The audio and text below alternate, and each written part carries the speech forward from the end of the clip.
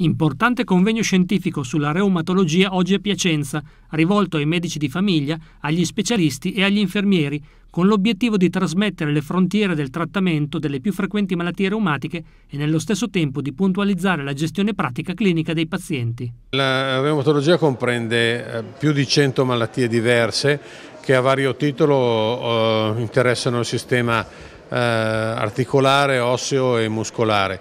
Sono quindi eh, malattie molto complesse e a volte difficili da, da, da, diagnosticare, tutte un po' caratterizzate dalla comparsa di dolore, ma poi il tipo di dolore è molto differente perché da un dolore eh, meccanico, cioè da artrosi o da eh, dolore della colonna, il dolore infiammatorio invece è un dolore che si inizia di notte e dà rigidità al mattino e questo qui è un, questo è un sintomo di allarme. In ambito locale i pazienti del reparto di reumatologia sono in aumento. I pazienti potenzialmente affetti da malattie reumatiche sono tanti, rasentiamo oltre le 70.000 unità rapportate agli abitanti che fa Piacenza con la sua provincia.